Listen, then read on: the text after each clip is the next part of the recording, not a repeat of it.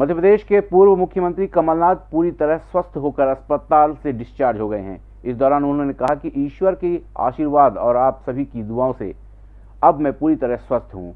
हम जनता की लड़ाई मिलकर लड़ते रहेंगे। पूर्व मुख्यमंत्री और प्रदेश कांग्रेस अध्यक्ष कमलनाथ पूरी तरह से स्वस्थ हो चुके हैं। कुछ दिनों पूर्व उन्हें सीने में दर्द और बुखार के चलते गुरुग्राम के मेदांता अस्पताल में भर्ती किया गया था, जहाँ उनकी कोरोना रिपोर्ट नेगेटिव आई थी। उनके बेटे नकुलनाथ ने इसे रूटीन चेकअप बताया था। स्वस्थ होने के बाद कमलनाथ ने सभी का आभार व्यक्त किया और कहा की आज अस्पताल से डिस्चार्ज होकर घर आ गया हूँ। आप सभी की शुभकामनाओं के लिए धन्यवाद। हम सभी मध्य प्रदेश की जनता की लड़ाई लड़ते रहेंगे। भगवान के आशीर्वाद और आप सबकी दुआओं से अब मैं पूरी तरह स्वस्थ हूँ और अस्पताल से बाहर आया हूँ। अस्पताल में रहने के दौरान आप सबके शुभकामना संदेश प्राप्त हुए। इसके लिए आप सबको हृदय से धन्यवाद। हम सभी मिलकर मध्य प्रदेश की जनता की लड़ाई लड़ते रहेंगे।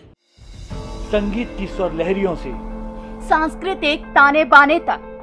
चंबल के पीड़ों से नक्सलवादियों के गढ़ तक झोपड़ी से महलों तक ठेलों से मेलों तक पगडंडियों से सड़कों तक गाँव से शहरों तक व्यापार से उद्योगों तक। राजनीति से कूटनीति तक। दखन न्यूज़। आपके हक।